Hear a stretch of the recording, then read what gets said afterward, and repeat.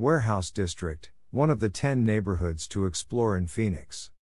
Located immediately south of the downtown core, this neighborhood has seen a burst of revitalization in recent years, but its grittiness still gives it its edge that other neighborhoods have lost.